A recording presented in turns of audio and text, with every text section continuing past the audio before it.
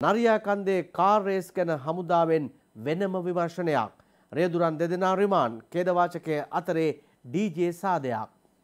මේ අද මෞබිම් පුවත්පතේ මුල් පිටුවට වාර්තා කරන පුවතක් මේ පසුගිය දිනවල රටම අවධානය යොමු කළ රටම බලාගෙන සිටි පුවතක් වඩපත් වුණා. මේ අනතුර දියතලාව නරියාකන්ද මෝටරත දාවන පතේ පෙරේදා පැවති ෆොක්සිල් සුපර් ක්‍රොස් තරගයේදී සිදු මාරක රියනතු සම්බන්ධයෙන් ශ්‍රී ලංකා යුද හමුදාව අභ්‍යන්තර පරීක්ෂණයක් ආරම්භ කොට ඇති බව එහි මාධ්‍ය ප්‍රකාශක මේජර් ජෙනරාල් රසික කුමාර මහතා සඳහන් කළ බව තමයි පෞද්ගලික පුවත්පත සඳහන් කරන්නේ. මේ අනතුරින් පසු එදින රාත්‍රියේදී සංවිධානය කර තිබූ බව කියන ඩීජේ සංගීත රාත්‍රියට මේ වන විට සමාජ විරෝධය එල්ල වෙමින් පවතිනවා එවැගේම දහවල් කාලයේදීම දහවනපතේ සිදු අනතුරෙන් හත් දෙනෙකුට දිවි අහිමි වී තිබෙදීත් රාත්‍රියේදී විනෝද වීම සඳහා එහි පැවැත් වූ රීජිය ප්‍රසංගය යුද හමුදාවේ සහභාගීත්වයෙන් හෝ සංවිධානයකින් තොරව පැවැත්වුවක් බව යුද හමුදා මාධ්‍ය ප්‍රකාශක මේජර් ජනරාල් රසික කුමාර මහතා සඳහන් කරන බවත් අද මව්බිම් පුවත්පත අනාවරණ කරලා තියෙනවා.